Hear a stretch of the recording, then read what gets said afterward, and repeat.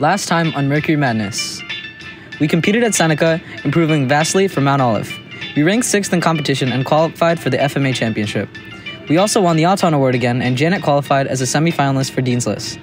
Now we're heading to Mar.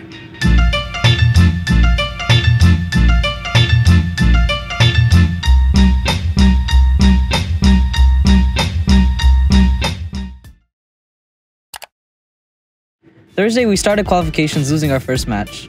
Our spirit was still strong, and we were determined to win our next matches. Scouters in the stands were also keeping a close eye on other teams, and the rest of our team was. That's it. yeah, give me more, man. Oh. growing closer. After getting some time on the practice field, we were able to win our next two matches. We left on Thursday ranked 18th and feeling hopeful. When we got into the pits on Friday, we were met by a prank from Mo. We weren't going to let that go unanswered, but more on that later. We started our matches with three losses, but as always, our picker was working hard to make sure we were ready to come back in our next matches. And come back we did. We won our remaining three matches that day, putting our rank at 16. Not gonna lie, the day did tire out a lot of the team, but we also came up with a way to get back at Mo for their prank and when they got in on Saturday. We surprised Mo by putting their pit on sale.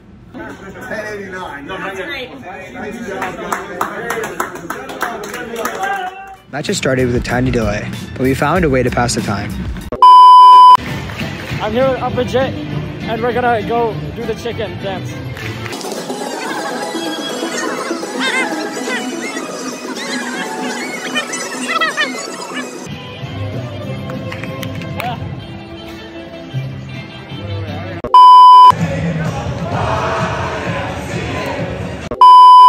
Akshaw definitely stayed hydrated with someone else's Gatorade. Anyway, when matches started back up, we began the day with a loss. We quickly turned things around and won our last two qualification matches, moving us up to the 10th rank.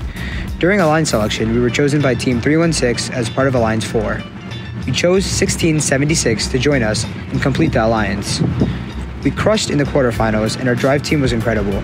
The pit crew was working so hard to get ready for the semifinals against the Petty Nemesis Alliance that we lost to at Seneca.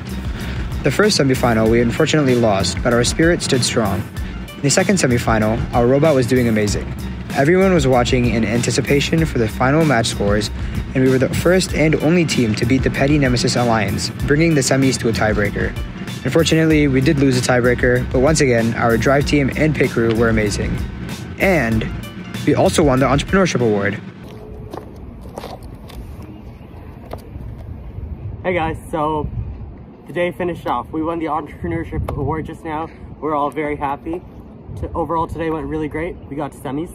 Um, yeah, we were the fourth fourth alliance. We got picked fourth, and um, we won two and zero in the quarterfinals. And then we were the only team to beat the Nemesis Petty duo.